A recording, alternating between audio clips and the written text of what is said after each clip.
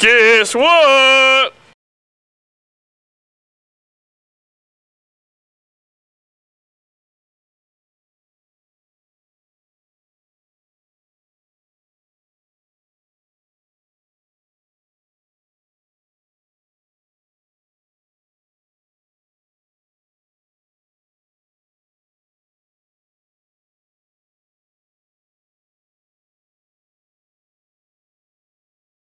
We're gonna have Dr. Phil on the show again.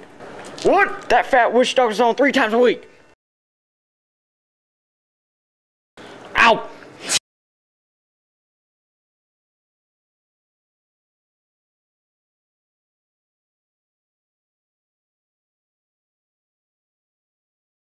And now, everybody's favorite daytime diva, Oprah!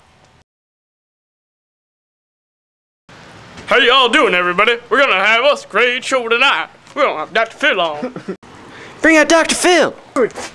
Yeah, man!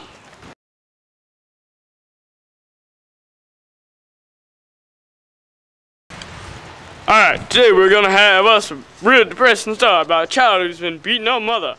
She's just real intolerable of her mother. We're gonna get Dr. Phil out here. He's gonna help us solve this family crisis.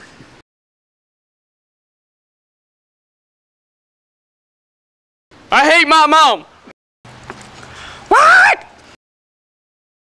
I'll kill you!